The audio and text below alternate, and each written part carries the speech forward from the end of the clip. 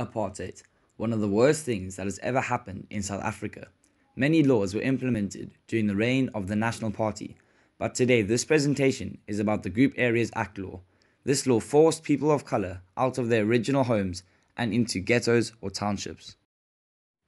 I interviewed my domestic help, Veronica, a lively lady from the township of Delft. She was born there, but her family had been forced out of their neighbourhood in town. Veronica spoke about her troubles growing up poor schooling facilities and appalling houses. All of her friends were just like her, born in Delft, with their family having been forcefully removed from their previous homes. Of course, this upset the people that were being forced to live in these ghettos.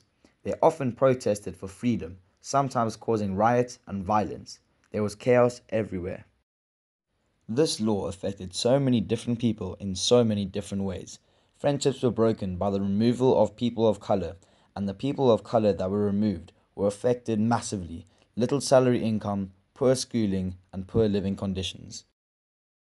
With the help of other ANC members, Nelson Mandela was able to fight for the freedom of people of color in our country. Black, colored, and Indian people were now allowed to vote, allowed to buy land, and allowed to marry whoever they wanted. Although apartheid is now a thing of the past, the legacy still stands. Millions of black and colored people still live in townships with poor schooling and poor living conditions.